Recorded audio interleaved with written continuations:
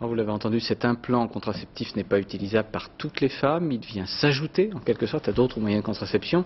Des moyens sur lesquels il y a encore trop peu d'informations, comme l'ont constaté Laetitia Legendre et Bernard Puissesso dans un centre de planning familial à Paris. Elle m'a expliqué comme l'a fait mon gynécologue, donc ce qui n'a pas servi. Mais ce qu'elle m'a pas expliqué, c'est que faire quand je l'oubliais, quand j'avais des problèmes en fait avec cette pilule justement.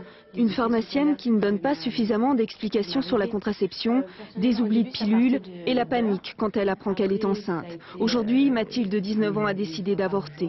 Un acte qu'elle aurait pu éviter si elle avait été suffisamment informée sur la pilule. J'étais toute seule pour me débrouiller, donc quand je l'ai oublié, après on se pose des questions, comment on va faire euh, le lendemain, est-ce qu'on doit en prendre deux, est-ce qu'on doit l'arrêter, et, euh, donc euh, juste d'une journée oubliée, des fois ça peut arriver d'être enceinte. Mhm. Deux femmes sur trois en France utilisent une méthode contraceptive. Mais les chiffres montrent que la contraception n'est pas encore suffisamment maîtrisée.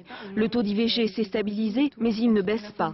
220 000 par an, soit un avortement pour quatre naissances. Négligence ou manque d'informations sur les moyens de contraception. Il n'y en a pas suffisamment, il faut pérenniser, il faut que ce soit tous les ans. Ça ne concerne pas les mêmes populations.